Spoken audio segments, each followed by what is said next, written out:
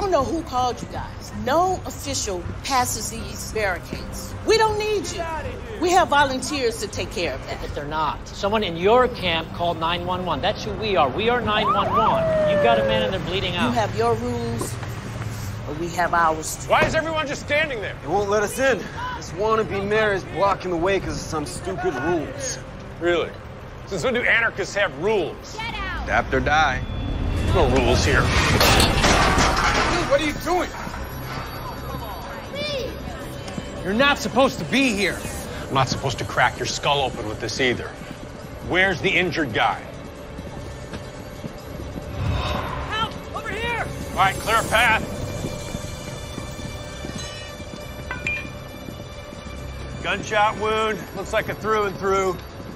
Brachial artery looks to be intact. Chim? Got it. All right, I'll call it in. Take some breaths.